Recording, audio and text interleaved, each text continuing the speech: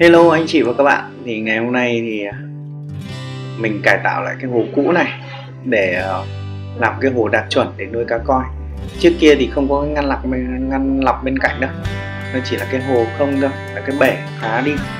À, để à, thành cái hồ nuôi bảy màu với cá vàng.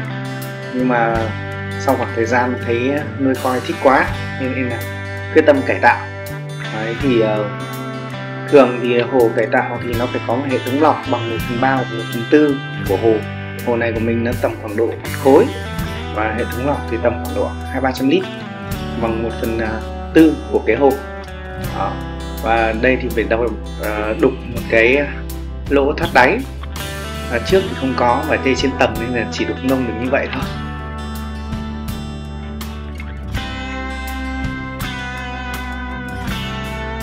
Và đây là thành quả sau khi đục đẽo người đặt ống ống này thì mình đặt ống 60 thôi. À, với cái hồ này là vừa. Thực ra thì với cái hồ này đáng nhẽ nó phải sâu đến tầm khoảng độ 80 phân trở lên. Nhưng mà thôi tận dụng vậy nó cao 40 phân cũng ok vì nó trên tầng nên là cũng không không không không cải tạo được nhiều lắm. Và cuối cùng thì cũng sau một ngày cũng đặt xong được cái ống hút đáy rồi. Và cái hút mặt cũng ok rồi nhìn trong tương tác ấy và sau khi ờ, đặt xong thì có quét một lớp uh, Sika để chống thấm.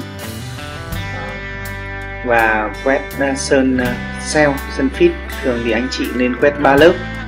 Cái cách mà mình học được ở trên YouTube là cách mà quét sơn cell nó bền ấy là nước đầu tiên thì mình quét tỷ lệ 14 nước thứ hai mình quét tỷ lệ là 11 và nước thứ ba thì mình quét trực tiếp sơn lên thì nó sẽ bền sơn và sơn sẽ không bị bong chóc. Trước không biết thì cứ quét một lần như vậy, đâm ra nó bong chóc. Đó. cho nên là nếu như mình làm đúng cách, quét ba lớp như vậy, thì à, sơn sẽ rất là bền. Và không bị bong chóc. Và đây là cái thành quả sau một ngày nghỉ hụt à, quét quét, sơn sơn. Cũng cảm thấy à, khá ổn, anh chị em ạ.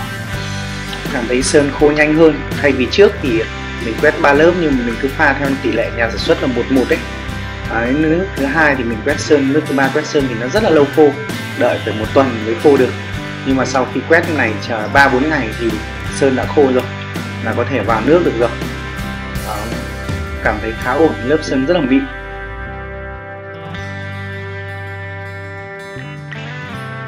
Và sau ba bốn ngày thì à, bắt đầu à, mình xả nước à, để ngâm hồ xả nước ngâm hồ thì uh, thực ra nếu mà bể mới thì anh chị uh, nên ngâm bằng uh, ngâm lâu hơn tức là ngâm ngâm nhiều ấy, ngâm nhiều ngâm lâu hơn. Nhưng đây là bể cũ nên là cũng không cần ngâm quá nhiều chỉ cần ngâm hai ba ngày thôi. Có một cách nữa muốn chia sẻ với anh chị là rất nhiều anh chị bảo hồ mới nên ngâm chuối. Thực chất ra thì mình cũng tìm hiểu trên youtube rất là nhiều vì rất nhiều người ở thành phố ấy họ không có chuối hoặc là không có điều kiện lấy chuối để ngâm thì có một cách rất là đơn giản đó là các anh chị có thể ngâm phèn chua. À, thì công năng tác dụng nó nhanh hơn rất là nhiều.